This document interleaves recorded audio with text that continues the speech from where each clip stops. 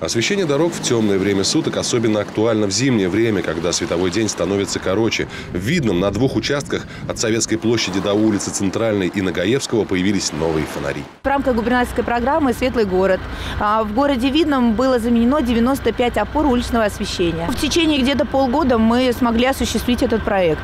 По мнению специалистов, Видно является не самым освещенным поселением Ленинского района, хотя в некоторых местах света хоть отбавляй, например, в центре города.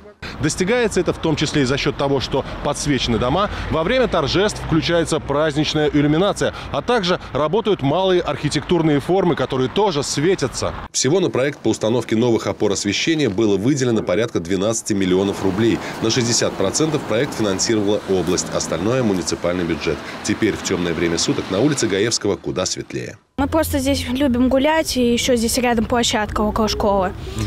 И бывает э, вечером выходим, и очень поздно, и бывает вообще темно. И вот теперь фонари поставили очень хорошо. Стал ярче на школьной мачты освещения снабжены энергосберегающими лампами, которые позволяют более чем в два раза снизить потребление электричества. А это прямая экономия бюджета. Комфорт местных жителей измерить точно нельзя, но он определенно повысился. Мы ходим вот на каток, на фигурное катание, и возвращаемся иногда там, иногда здесь.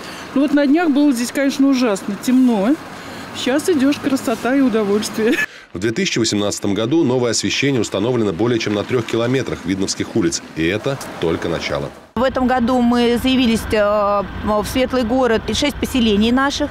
Э, пока находятся все наши сметы и заявки в Мособлэкспертизе. Как только из Мособлэкспертизы они выходят, мы будем заявляться уже в область на участие в программе «Светлый город».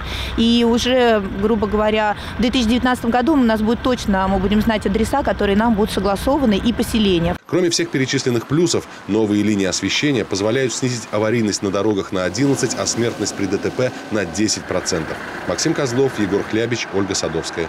Видное ТВ.